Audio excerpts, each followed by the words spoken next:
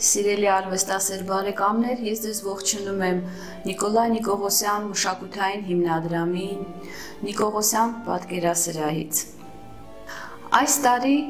Նիկողոսյան հիմնադրամը մշակել էր մի նախագիծ, որը կոչվում է 20-րդ դար Նիկոլայ Նիկողոսյանն ու իր ժամանակակիցները։ Նախագիծը նախատեսում է խորհրդահայ մի շարք արվեստագետների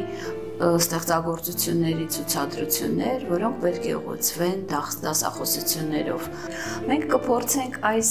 փոքրիկ դասախոսությունների միջոցով բացահայտել խորհրդային արվեստի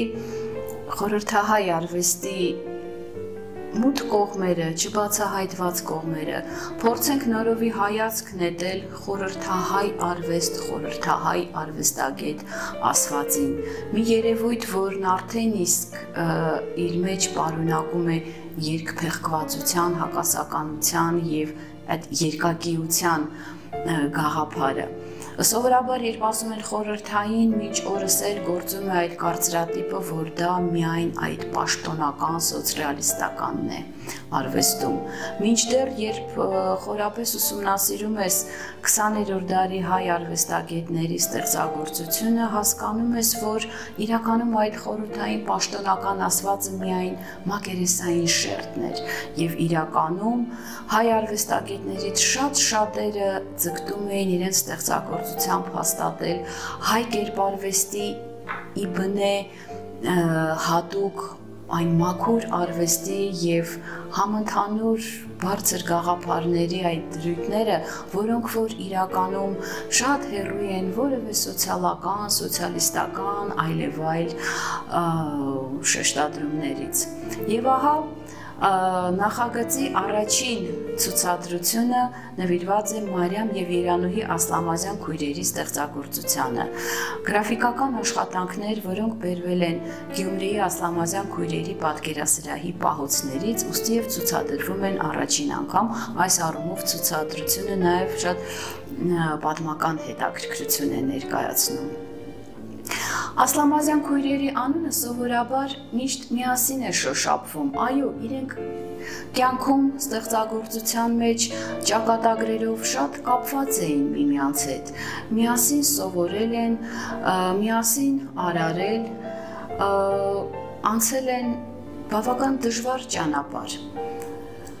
Մարիամ եւ Իրանուհի Ասլամազյանները երկուսն էին 6 քույրերից եւ 1 եղբորից բաղկացած այդ ընտանիքի զավակներից։ Նրանց հայրը Արշակ աղան բավական ունևոր մարդ էր, ուսյալ անձնավորություն, ինժեներ, Անդրկովկասում հայտնի որպես ջրաղացների մասնագետ եւ իրենց տունը ընտանիքը պահում էր հենց իրենց հոր կառուցած ջրաղացը։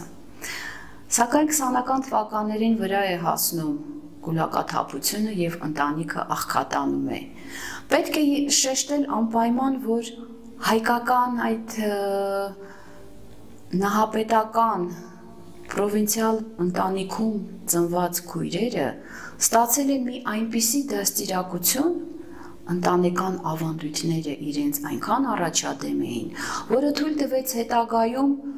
անկամ անկախ նրանից, որ խորհրդային իրականությունն էր նպաստում կնոջ ինքնահաստատմանը,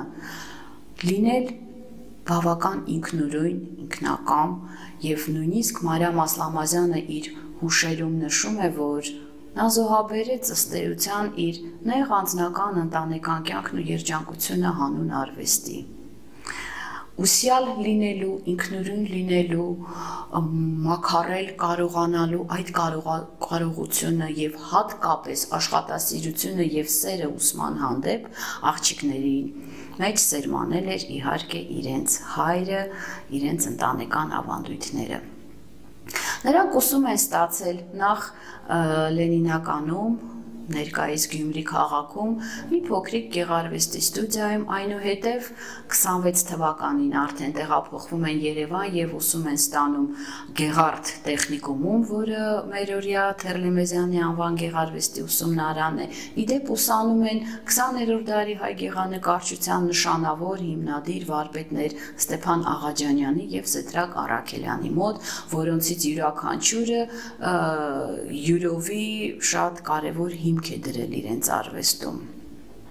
Այնուհետև ճանապարհը տանում էր դեպի Մոսկվա, որովհետև մինչև 45 թվականը Երևանում գոյություն չուներ բարձրագույն գեղարվեստական որևէ կրթօջախ։ Հայ արվեստագետներից շատ շատերի ճակատագիրն է կապված եղել սերտորեն կապված եղել Մոսկվայի կամ Լենինգրադի հետ, հենց իրենց ուսման այդ անհրաժեշտության պատճառով եւ միայն արդեն ծնհալի տարիներին 50-ականներին, երբ տեղում շրջանավարտներ էր բաց թողում նորաստեղծ Երևանի գեղարվեստի Գեղստաթաթերական ինստիտուտը մենք կարող ենք խոսել տեղային ուսումնական ավանդույթների մասին։ Ինչևէ, խորթային իրականությունն էր այդպեսին, որ հայարվեստագետներից շատ շատերը սերտորեն կապված մնալով Հայաստանի հետ, իրենց կյանքն ու ճակատագիրը նաև կապում են Ռուսաստանի հետ եւ այդպես Մարիամ եւ Երանուհի Ասլամազյան քույրերը հայտնվում են նախ Մոսկվայում, հետո Լենինգրադում, սովորում լավագույն կրթօջախներում, բարձրագույն ինստիտուտներում գեղարվեստական Եվ ինչն է հետաքրքիր, ուսանում են ռուսական ավանգարդի նշանավոր մի շարք վարպետների մոտ, օրինակ Պետրով Ոդկին, Ալեքսանդր Դրևին, Նադեժդա Ուդալցովա, Ալեքսանդր Ասմյորկին եւ այլոք։ Եվ բնականաբար իրենց ազատամիտ նախկինում ավանգարդիստ ռուս հեղինակությունների տված avandույթները նույնպես շատ կարևոր դեր են խաղում իրենց արվեստում։ Ցուցադրությունը, որը մենք այսօր կդիտենք, ըստ էության երեք թեմատիկ շերտեր է բարունակում, որոնց մասին ես հիմա կցանկանամ ավելի մանրամասն խոսել եւ մենք մի փոքրիկ շրջայց կկատարենք այս ցուցահանդեսով։ Թեպետ ցուցահանդեսն, ինչպես արդեն ասացի, ընդհանուր առմամբ բաղկացած է գրաֆիկական ստեղծագործություններից, սակայն այս դիմանկարը առանձնանում է ոչ միայն իր տեխնիկական կատարմամբ, սա կտավի վրա արված գեղանկար է յուղաներկով, այլև իր կերպարային եւ ժանրային լուծումով։ Ակնհայտ է, որ պատկերված է արվեստի աշխարհի մի անձնավորություն։ Այս կերպարի մասին խոսվել է դեռ խորթային ժամանակաշրջանում եւ այս ստեղծագործությունը նշվել է որպես Երանուհի Ասլամազյանի վաղ շրջանի դիմանկարչական փորձերի մի շատ կարևոր հանգրվան։ Իրականում այստեղ պատկերված է Մոսկվայի մեծ թատրոնի բալետի պարուհի Լիա Չխևաձեն։ Եվ իհարկե նրա արտիստական կերպարը, նրա կանացի կեցվածքը, փոքրինչ սեթևետ, որը ինչ որ առումով գուցե եւ չէր տեղավորվում 40-ական թվականների խորհրդային կնոջ այդ ստերեոտիպային կերպարի մեջ, այլ ավելի շատ բուրժուական ինչ որ ելևէջներ է բերում եւ հենց այդպիսով Իրանուհի Ասլամազյանը փորձել է պատկերել արվեստի աշխարհի կնոջը եւ շեշտել իր հանրային նշանակությունը։ Ցուցահանդեսում ներկայացված կանանց գրաֆիկական դիմանկարների մեջ առանձնանում է մի խմբականակ, որոնք բոլորը թվագրված են 1963 թվականով եւ ըստ ամենայնի հուշում են, որ նկարված են նույն ժամանակ, նույն տեղում, միևնույն միջոցառման ընթացքում, որովհետև դրանք բոլորը ներկայացնելով տարբեր ազգությունների կանանց, այդուամենայնիվ շեշտում են, որ նրանք падգամավորներ են մեքսիկացի падգամավոր, ճապոնացի падգամավոր, падգամավոր Կոնգոից եւ այլն եւ այլն։ Հարց առաջացավ, թե այդ ինչ կարևոր համաժողով է եղել 63 թվականին Հավանաբար Մոսկվայում, որին մասնակցել է նաեւ նկարչուհին, եւ ես ավելի քան վստահ եմ եւ այդ եմ փաստում այս ճեպանկարների գեղարվեստական լուծումները որ նա այս ճեպանկարները կատարել է հենց այդ միջոցառման ժամանակ բնորդներից. Արագորեն փորձել է ֆիքսել այս տարբեր երկրներից եկած կանանց կերպարները. Եւ ինչն է հետաքրքիր որոշներում նա թղթի վրա մի անկյունում ինչ որ նկարագրություններ եւ ինքն իր համար հուշումներ է գրել։ Խոսքը Մարիամ Ասլամազյանի մասին է։ Օրինակ, սա մեքսիկացի падգամավորն է, Եվ այստեղ նա գրում է. Մեքսիկանկա, սմուգլը, կարալը, ի չորնը բլուսկա։ Նա կարծես թե ինքն իր համար հուշումներ է կատարում, որովհետև հետագայում այս ճեպանկարներից ստեղծի մեծ գեղանկարչական դիմանկարներ։ Եվ ինչն է հետաքրքիր, որ յուրաքանչյուր կերպարում նա շեշտում է տվյալ կնոջ էթնիկական առանձնահատկությունները։ Մի հատկանիշ, որ շատ կարևոր է Մարիամ Ասլամազյանի ստեղծագործության մեջ, մենք գիտենք, որ նա շատ է ճանապարհորդել էկզոտիկ երկրներով եւ օրինակ ինչպես դա անում էին Գոգենը կամ Մատիսը ժամանակին։ Այնուամենայնիվ եկեք վերադառնանք այս համաժողովին։ Բանից պարզվում է, որ 1963 թվականին Մոսկվայում կայանում է կանանց միջազգային կոնգրեսը, բայց դա ունի իր նախապատմությունը։ Ինչ էր իրենից ներկայացնում այդ կոնգրեսը։ Նախապատմությունն այն է, որ 1945 թվականին ֆաշիզմի դեմ հաղթանակից անմիջապես հետո Փարիզում կայանում է այդ ավելի վաղ հիմնադրված կանանց միջազգային կոնգրեսի շրջանակներում հակաֆաշիստական թևը այդ կանանց կոնգրեսի եւ խորհրդային միությունը այդ հակաֆաշիստական կանանց միջազգային կոնգրեսը ներկայացնում է որպես խորհրդային կանանց կոմիտե եւ Մարիամ Ասլամազյանը ինչպես նաեւ Երանուհի Ասլամազյանը ակտիվորեն ներգրավում են այդ խաղաղասիրական շարժման մեջ, որը տանում էին կանայք։ Ահա ինչու այս դիմանկարների խմբականակում բոլորը կանանց դիմանկարներ են եւ բոլորը տարբեր երկրների ներկայացուցիչներ։ Եվ ինչն է հետաքրքիր, այս ցուցահանդեսում ներկայացված են միայն Մարիամ Ասլամազյանի պատկերած այդ падգամավոր կանանց կերպարները, մինչդեռ 72 թվականի Երանուհի Ասլամազյանի ստեղծագործությունների կատալոգում մենք գտնում ենք եւս մի այդպիսի դիմանկար, որից որ պարզ է դառնում, որ երկու քույրերը միասին են մասնակցել այդ կոնգրեսին։ 2018 թվականին Մոսկվայի Արևելքի թանգարանում տեղի ունեցավ Մարիամ Ասլամազյանի 110-ամյակի նվիրված մեծ հետահայաց ցուցահանդես, տպագրվեց այս հրաշալի պատկերագիրքը եւ այստեղ զետեղված ստեղծագործությունների մեծ մասը պայմանականորեն կոչեցինք էկզոտիկ շարք Շարունակելով Մարիամ Ասլամազյանի ստեղծագործության մեջ մեծ տեղ գրավող այդ էկզոտիզմի եւ էկզոտիկ կանանց կերպարների թեման, չենք կարող շրջանցել այս կերպարը։ Բավական ինտրիգ բարինակող մի վերնագրով՝ Սև Վեներա։ Եթե մենք այս վերնագրին եւ նկարչուհու այս հայացքին մոտենանք տակավին արդիական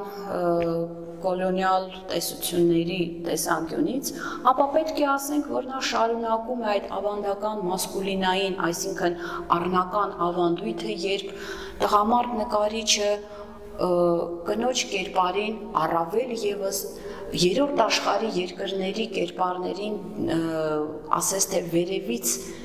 հայացք է նետում որպես զմայլանքի օբյեկտ, որպես հետաքրքրության օբյեկտի։ Եվ ինչն է հետաքրքիր։ Մարիամ Ասլամազյանը ինքը չափազանց կանացի լինելով հանդերձ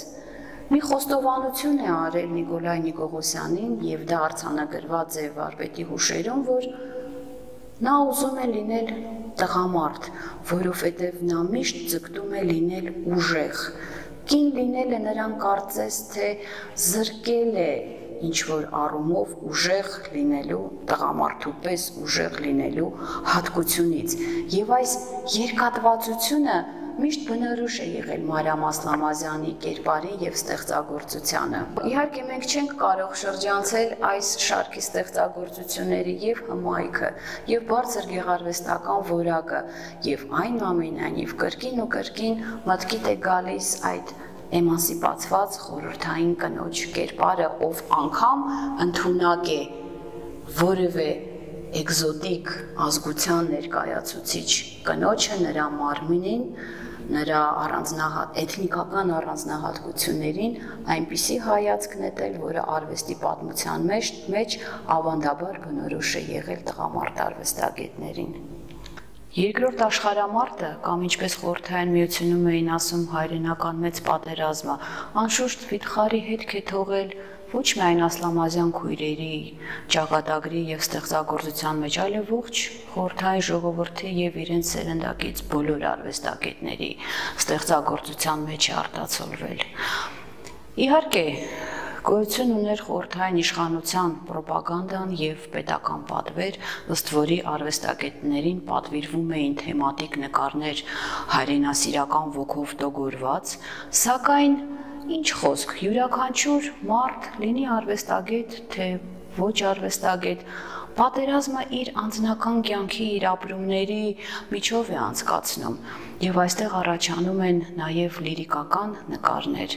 որոնք որ լեցուն են անկեղծությամբ, զգացմունքներով, Երանուհի Ասլամազյանը իրավամբ համարվում է քնարական բնույթի արվեստագետ եւ ահա 1944 թվականին ստեղծած իր այս նշանավոր թեպետ եւ չափսերով փոքրիկ ստեղծագործությունը պատկերում է թե ինչպես են աղջիկներին ուղեկցում ռազմաճակատ։ Փոքրինչ անսովոր է աղջիկներին ռազմաճակատ ուղեկցելու թեման, բայց սա մի դրվագ է, որը նա ինքը ականատես է եղել եւ մեծ հետք է թողել նկարչուհու հիշողության, զգացմունքներում եւ նա արտահայտել է դա։ Եվ Նաև այս պատերազմի թեմատիկ գիծը, որ ներկայացված է ցուցահանդեսում, համալրում է մեջքից պատկերված աղջիկ զինվորի կերպարը։ Շատ դժվար է մեջքից պատկերել կերպար առանց ցույց տալու նրա դեմքը, նրա աչքերը, եւ արտահայտել զգացմունքներ։ Այս փոքրիկ մատիտանկարում Երանուհի Ասլամազյանը կարողացել է դա անել եւ ելի ու ելի էլ էլ ավելի է ուժեղանում հուզմունքը, երբ դիտողը տեսնում է կին զինվորին եւ նորից ուզում ես հիշել այն հանգամանքը, որ Ասլամազյան քույրերի արվեստում կնոջ կերպարը առանձնահատուկ տեղ ու նշանակություն ունի անգամ պատերազմի նվիրված թեմայի մեջ։ Երբ մենք խոսում ենք Ասլամազյան քույրերի եւ հատկապես Մարիամ Ասլամազյանի արվեստում էթնոգրաֆիկ թեմայի առատության մասին եւ էկզոտիկ թեմայի առատության մասին, մենք պետք է նաեւ նկատի ունենանք, որ դա վերաբերվում է նաեւ հայկական գյուղական կենցաղին, հայկական էթնոգրաֆիկ կենցաղին եւ այդ պատմական շերտերը վերհանելու նրա ձգտմանը քույրերը բոլոր ամառները անց էին կացնում հայկական գյուղերում, ապրում են գյուղացիների տանը եւ միշտ պատկերում էին հայկական ավանդական կենցաղը եւ ասես թե հետազոտողի հայացքով էին դիտում այն ամենին, ինչ իրականում եղել է իրենց մանկության ուղեկիցը, չէ՞ որ իրենք մեծացել են նույնպես հայկական գավառում եւ ավանդական կենցաղը ուղեկցել է իրենց մանկությունը։ Սա շատ հարազատ թեմա էր։ Եվ այժմ ահա տարիք առած եւ հայկական ավանդական կենցաղին էթնոգրաֆիկ թեմային արվեստագետի հայացքով նայող նկարչուհին կարծես վերհիշում է իր մանկությունը հայկական ինտերիերներ հայկական ազգային տարազով կերպարներ նույնքան կոլորիտային նույնքան հյութեղ որքան սևամորթները, հնդկուհիները եւ այլ էկզոտիկ կերպարները։ Անշուշտ հայրենասիրական տարը այստեղ կար եւ ոչ թե պարզապես դատար քրետորական հայրենասիրություն, այլ խորս եւ սեփական զգացմունքներով, սեփական փորձառությամբ մանկությունից եկող արխետիպային զգացողություններ, որոնք շատ ամուր էին նստած հայա նկարչուհիների ստեղծագործության մեջ։ Ես ուզում եմ հիշեցնել մի շատ հանրահայտ նկար, որը նույնպես նվիրված է պատերազմի թեմային հերոսի վերադարձը թվում է թե պատերազմի ուռա հայրենասիրական թեմայով կատարված աշխատանք, բայց այստեղ նույնպես կարծես զուգորդվում է ազգայինը, ավանդականը եւ խորհրդայինը, քարոշչականը։ Ավանդական հայկական ինտերիեր երիտասարդ մայրը, որը ռազմաճակատից վերադարձած հերոսին է մեկնում իր փոքրիկ երեխային։ Այ այս երկակիության եւ հայկականի եւ համախորհրդայինի համատեղման միտումը շատ հետաքրքիր երբեմն հակասական եւ պարադոքսալ արդյունքների է բերում հատկապես թեմատիկ նկարչության մեջ։ Նույն այս շարքին կարելի է դասել եւս մի նշանավոր ստեղծագործություն այն մասին, թե ինչպես են հայ գյուղացի կանայք ծխախոտի տերևներ չորացնում։ Պետք է ասել, որ 20-րդ դարի իրապաշտական հայ գեղանկարչության ասպարեզում ազգային կերպարների, ազգագրական տիպարների այդ ժանրի հիմնադիրն է Ստեփան Աղաջանյանը։ Նա, ով հանդիսացել է Մարիամ եւ Երանուհի Ասլամազյան քույրերի առաջին ուսուցիչներից մեկը Երևանի Գեղարվեստի ուսումնարանում, եւ հենց Ստեփան Աղաջանյանն էր, որ այս վաղ փուլում հորդորում էր իր ուսանողներին որոնել, գտնել, ընդհանրացնել եւ պատկերել ազգային կերպարները։ Եվ պետք է ասել, որ ողջ ստեղծագործության ընթացքում իրենց ուսուցչի այս հորդորը ուղեկցել է նկարչուհիներին եւ նրանք նույնպես կարողացել են ստեղծել բավական հետաքրքիր հյութեղ